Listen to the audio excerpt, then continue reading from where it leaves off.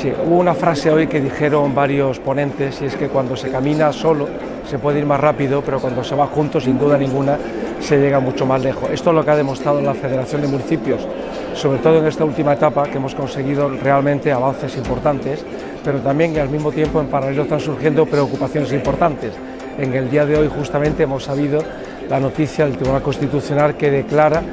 el, no ajustado a derecho las normas sobre el impuesto de, de plusvalía municipal.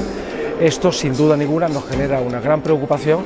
y era algo que veníamos diciendo desde la Federación de Municipios, iba a suceder, era crónica de un suceso anunciado y por tanto pedíamos al Gobierno que reaccionara a tiempo. Hoy ha sucedido, hoy ha salido la sentencia del Tribunal Constitucional, pues le pedimos al Gobierno, y esto no es un tema político, sino que nos afecta a todos por igual, que reaccione de manera urgente, de manera rápida y que enseguida legisle para subsanar este problema que acaba de surgir.